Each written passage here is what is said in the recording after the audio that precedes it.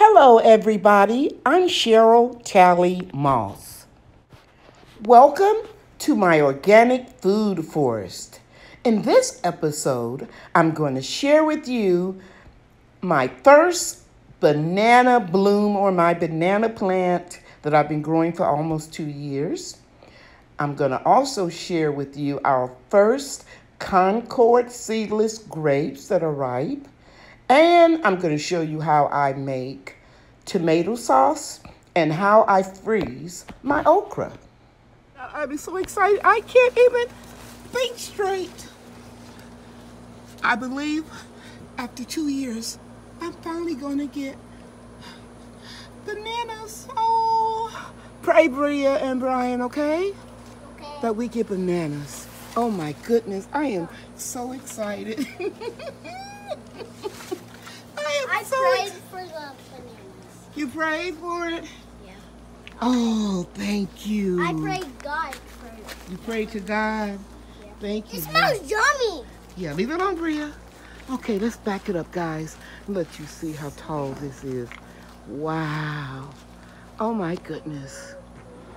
After all these years, two years of nursing these banana plants. Don't play with it, son. You cannot play with it, Brian. Okay. And I just want to very quickly uh, pan over here and show you this little bitty one that Led Farmer 73 on uh, eBay. Pardon me, I'm so excited. when YouTube sent me this little pup. It's an ice cream banana. He said, Miss Cheryl, I gotta send you something that I know will produce flowers so and, and fruit. So I'm just so excited. Never give up, guys. Never this a banana? give up. Wow. Woo! It's gotta be at least 13 feet high. Yes. Brian, I asked you not to touch them. You cannot touch them like puppies. Okay, go ahead. What is this? Okay, go ahead, Brian. Touch it? Yeah. No, don't touch it. Oh, wee. Come on, come on, Bria. I'm gonna What go do get. I see? One, let me go get one more picture of my flower, my banana flowering. And usually, what happens after that is you start to get your rack. We'll move this out the way. You get your rack of bananas.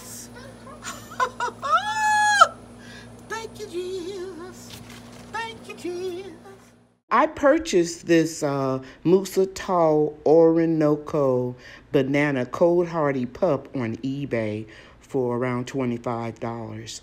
And I purchased it in October of 2017. So technically, it won't be two years old until October. I grew it the first year in a pot, and then I put it in the ground last uh, fall, and I uh, cut them down about two feet high, and I put a lot of mulch over it in a mini greenhouse, and then I uncovered them in the spring. Um, yeah, so I'm very happy that we finally um, uh, see the plant produce a flower, and hopefully we'll get bananas soon. Uh, and I'll put a link in the uh, description box showing you uh, a couple videos that I made about my progress of my banana plants. Now here are my Concord Purple Seedless Grapes. I planted these for my grandchildren, uh, especially Bria because she loves grapes and we have to make sure that we get the seedless ones for her. I planted uh, two of them uh, last winter and one this fall, and all three plants vined out really well, and uh, we've got a few grapes. Now, these grapes are much smaller than they're going to be in the future. Um, as home uh, gardeners tendency have a tendency to get smaller grapes. And keep in mind that I only feed it compost tea, fish emulsion, uh, comfrey tea, worm castings, and that's it people. I don't use any type of chemical fertilizers on my fruit, trees, vegetables, anything in my garden. So we were very happy that we got grapes the first year. We weren't really expecting them. Okay, guys, those are our Concord purple grapes. Uh, how do they taste? Good. Okay, try another one. You like it, Bria? Mhm. What does it taste like? Yummy. Yummy? What does it taste like, Brian? You're not chewing yours up, Brian. You don't want it? Brian doesn't like a lot of uh, fruit and vegetables, but he's doing better because he will eat what we grow, correct? Correct. All right. You don't like the skin, Maria? Okay, but the grape is good, okay? Right? Is it good? Yes. Okay, here's another one. Here's another one. Do you want another one, Bria? Yes. Here's another one. I just washed it. And I'm going to eat the last one. Mm, It's very, very juicy and sweet. Tastes like sugar. Right? Right. Okay. You don't have to eat the skin or the peel or whatever you want to call it. Just the inside, right? Okay, say thanks for watching. Thank you for watching. Bye now. So I harvested most of my tomatoes before I went to uh, Disney World on vacation. And what I do, guys, is I pull them when they're almost ripe, and I put them on my kitchen windowsill. And then after they ripen all the way, I just freeze them whole. After I wash them off, I put them in the freezer. So this is how they look when they're almost ripe. This is how they look. I freeze them individually on a pan, on a pan or cooking sheet, and then I put them into individual bags. And now I'm going to show you how I make sauce. Hello gardeners, here's a one minute video showing you how I make tomato sauce from my homegrown tomatoes that I have previously uh, froze in the freezer. Well, I just take the tomatoes out and I let them thaw out for about a half an hour in a closed pot outside on my uh, patio.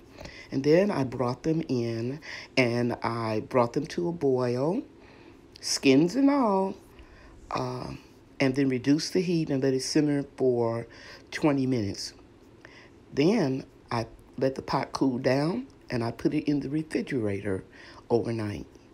This morning, around 6 o'clock, before it gets hot, I started making my sauce. I took the tomatoes and I pureed them in my um, blender. Seeds, core, peelings, and all. And then I added, and this it made about 12 cups. And then I added just a pinch of pickling salt and a cup and a half of pure lemon juice. And then I'm simmering it for about an hour. And then I'm going to uh, ladle it up in water bath candy for 20 minutes. And that's it. Now, I'm not going to attempt to give you instructions on how to water bath can. I'm going to leave that to the experts. So I recommend that you purchase or read the ball book of canning and preserving and follow all of their safety recommendations. This morning it was 67 degrees and the high was only 89. Now that's very unusual for us uh, being in North Texas. We're used to temps over 100 degrees um, around the end of July. So I took advantage of the cooler weather and I sprayed uh, my entire food forest with uh, neem oil, pure cold pressed neem oil and water as a uh, deterrent for insects. And we're usually plagued around this time of year with aphids, leaf, leaf hoppers, and uh, Japanese beetle. But anyway, um, the okra is doing real well, so I removed the shade cloth covers and um, let uh, the plants get a lot of sun. And the plants are producing about, we're up to around six pods of okra a day. Pretty soon, it'll be about a dozen a day. Okra is very easy to preserve. There are a lot of ways to do it. I like to blanch mine in boiling water for two minutes, then I remove it and immerse it immediately into ice water, and then I let it dry or, you know, just drain, and then I put it in a food saver bag and process it and get all the air out, and it will last for about 18 months in my freezer. Now this video was getting too long, so I want to shorten it, and I promise you in my next video, I'll show you step by step how I freeze okra. I want to point out to you the reason why you see different colors in the okra is because I'm growing three different types, and I'll go into detail in the next video. If you liked this video, please hit the like button. And if you're new to my channel, please subscribe and tell your family and friends about my channel. Thank you for watching. Bye now.